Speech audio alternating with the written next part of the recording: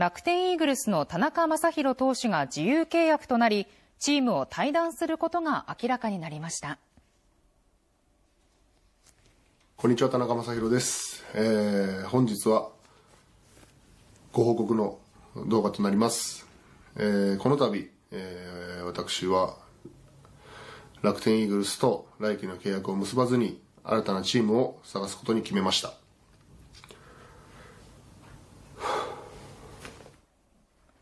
昨日自身の YouTube チャンネルで対談することを明かした田中投手。移籍先はまだ決まっていないということです。今シーズン田中投手の推定年俸は2億6000万円。登板は1試合にとどまりプロ入り後初めて未勝利に終わっていました。オンラインで取材に応じた石井シニアディレクターはうちにとってすごく必要なプレイヤーで当然残ってほしいということも伝える中で減額制限を超える大幅な減俸を提示し本人から自由契約にしてほしいと申し出があったと話しました。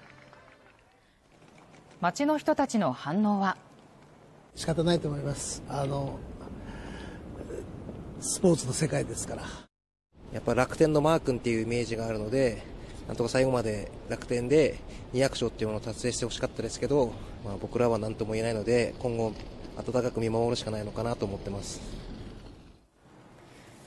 日仙台駅東口にあるグッズショップでは田中投手のタオルやユニフォームを買おうと多くのファンが駆けつけていました。18番田中はもうなくなるから記念に。やっぱり人気だったんでちょっと手放すのは残念かなと思いますけどね。楽天ファンとしては。最後になるかもしれないのでカレンダーを。はい。高卒ルーキーから見てきたんでなんかこう弟っつうか甥っ子っつうか他球団に移籍したとしても変わらず応援していきたいなと。来季今年投げられなかった分、えー、さらに、えー、しっかりと投げて、えー、戦っていきたいなというふうに思っているので引き続きしっかりと準備をして、えー、オフシーズン過ごそうかなというふうに思っています。では今回の経緯を改めて見ていきます。田中投手は2021年にメジャーリーグのヤンキースから楽天に復帰しまして年俸は9億円の2年契約でした、えー、ただ成績が振るわず2023年去年は4億7500万円。そして今年は2億6000万円と大幅な減額となっていました。NPB が定めたルールを見てみますと年俸1億円を超える選手の減額の制限は40%となっています。これを今回のケースに当てはめて見てみますと田中投手は今年年俸2億6000万円ですからこの40%に当たるのは1億400万円。つまり今回はこれを超える額あこれを超える減額年俸1億5600万円以下を楽天が提示したとみられていて実際にはこれを大幅に超える下回る額だったとみられているんです。NPB によりますと減額が上限を上回る場合でも選手の同意があれば契約を締結できるということなんですが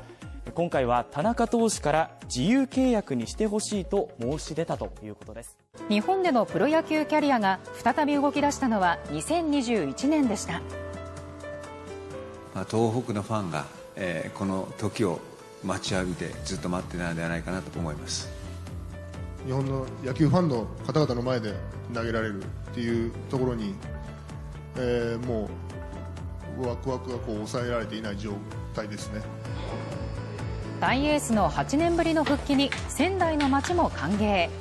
楽天での第2章は大きな期待感を背負いスタートしました。復帰後初の本拠地登板となった西武戦。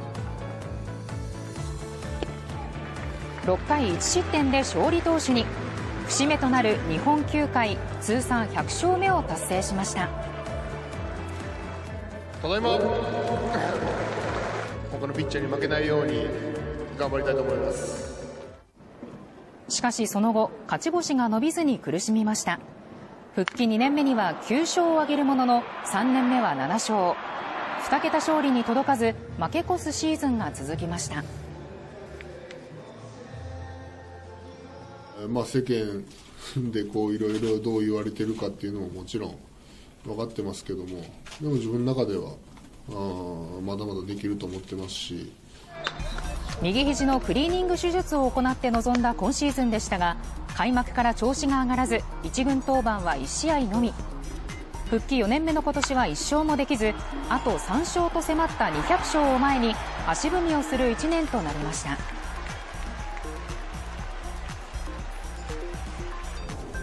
土曜日に行われた楽天のファン感謝祭。イベントを楽しむ田中投手の姿がありました。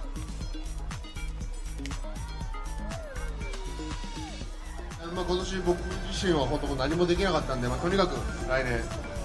一軍の舞台に立てるように頑張っていきます、えー皆さんから、えー応援したいと思っていただけるように、えー頑張ります。楽天でのユニフォーム姿はくしくもこの日が見納めとなりましたプロ入り19年目の来シーズン。日米通算200勝を新天地で目指すことになりました。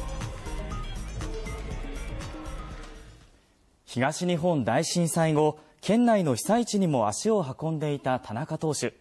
今回の対談を受け被災地の声を聞きました。東松島市に住む安海貴秀さん。大曲小学校の児童らが所属する少年野球チーム東松島ドリームズの監督を務めています2011年4月大曲小学校を訪れた田中投手は避難所に身を寄せる子どもたちと触れ合い激励しましたキャッチボールとか、まあ、いっぱい遊んでもらって、本当に苦しい中で、本当に楽しい思いをさせてもらったっていうのが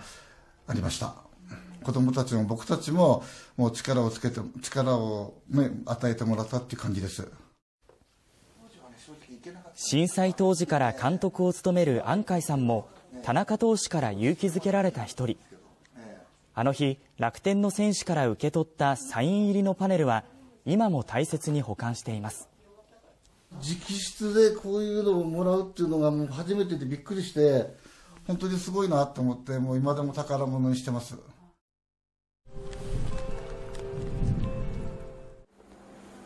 南三陸町で調剤薬局を営む小坂克美さんです。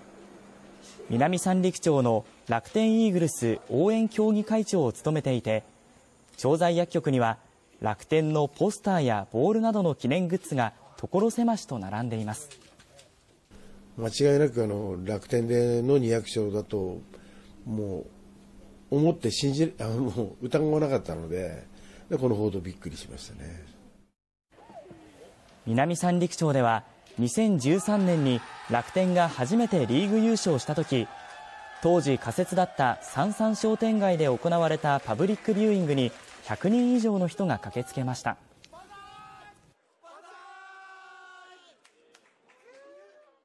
我々にとってはありがとうでしたからね。おめでとうよりもありがとうだったのでマー君がやっぱり、先頭に立って球団を引っ張ってくれたんだなというふうには思ってました。道の途中ではあろうとは思いますけども、うん、200勝を達成して今後も頑張ってもらいたいなというふうに思います。田中将大っていうえ野球選手を応援することに変わりはないです。